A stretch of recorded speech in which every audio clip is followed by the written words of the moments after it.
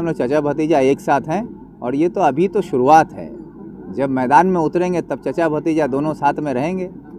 उत्तर दिनाजपुर जिला के चाकुलिया विधानसभा अंतर्गत विद्यानंदपुर ग्राम पंचायत के समसपुर मदरसा मैदान में कांग्रेस की एक ज्वाइनिंग सभा का आयोजन किया गया, जिसमें चाकुलिया प्रखंड के Vidyanandpur forward block branch committee के सदस्यों के साथ साथ कबूतर खूबी, भवानीगंज, खुद्दन, कोहा, शिकारपुर व लौचा से तृणमूल के 140 परिवार ने आज चाकुलिया के पूर्व विधायक एवं कांग्रेस नेता अली इमरान रम्स विक्टर के हाथों से झंडा पकड़कर कांग्रेस पार्टी को ज्वाइन कर लिया।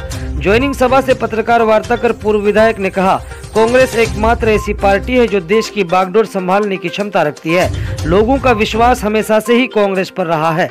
पश्चिम बंगाल में कांग्रेस का एकमात्र लक्ष्य, भ्रष्टाचार मुक्त पंचायत। पूर्व विधायक ने वर्तमान तृणमूल सरकार के नेता मंत्रियों पर जमकर निशाना साधा और कहा कि सभी लूटने के चक्कर में पड़े हैं और साधारण लोगों को एनआरसी सीए का भय दिखाकर वोट लेती है तृणमूल। सुनिए पत्रकार वार्ता में और क्या कहा पूर्व विधायक ने। आज सबसे पहले फॉरवर्ड ब्लॉक की जो ब्रांच कमेटी थी विद्यानंदपुर अंचल की उसको हम लोग आज कांग्रेस में तब्दील किए। उसके बाद विद्यानंदपुर अंचल के छः सांसद से तकरीबन 100 कितना चालीस एक सौ चालीस परिवार टीएमसी छोड़ के आज इसमें कांग्रेस में शामिल हुए। यहाँ ये देखा जा रहा है कि कांग्रेस के जो ब्लॉक सभापति हैं हम्म, वो सभा से रहते हैं। क्यों नहीं? कल तो हमारे साथ थे। कल नहीं, जिस तरह से इलाके में ज्वाइनिंग होती है। बिल्कुल नहीं वो अपने काम में है, उनको कुछ और ज़िम्मेदारी में है।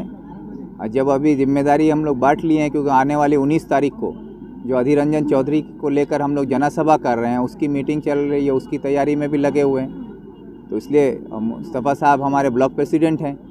वो हर मीटिंग में नहीं आए तो इसका ये मतलब नहीं है कि वो इसमें शामिल नहीं है हमारे साथ। वो शामिल हैं और ये सब जो है, उनकी जानकारी में हो रहा है। ऐसा कोई मतभेद वाले हम लोग चचा भतीजा एक साथ हैं, और ये तो अभी तो शुरुआत है।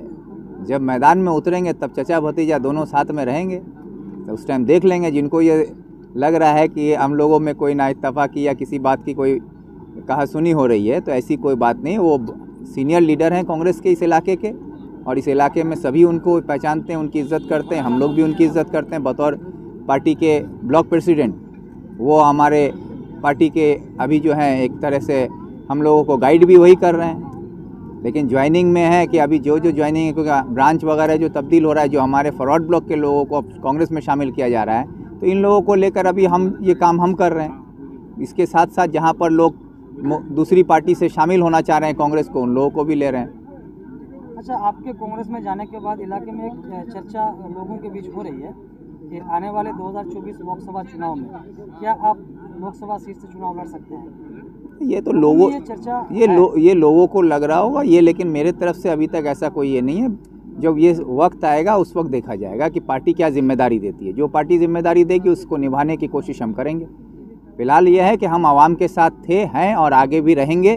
उसके लिए आवाम के साथ मिलकर जो दुर्नीति मुक्त पंचायत गौरार्जुन ने जो कांग्रेस का हाथ मज़बूत किया जाए इस नारे के साथ हम लोग आगे बढ़ रहे हैं। और आज जो तमाम टीएमसी में जो चोर हैं, चाहे वो पंचायत से लेकर प्रधान मुख्यमंत्री तक, चाहे वो पंचायत में जो हो, वो मिट्टी चोर से लेकर तालाब चोरी करने से लेकर, कोई स्कूल की नौकरी चोरी करने वाला से लेकर, सरकार में शारदा नारदा से जुड़े हुए जितने भी चोर हैं, इन सब के खिलाफ ये लड़ाई है। गरीब किसान मजदूर की लड़ाई है, माँ बहनों की लड़ाई है। इस लड़ाई को हम लोग लड़ने के लिए कांग्रेस के झंडे के साथ आगे बढ़ रहे हैं।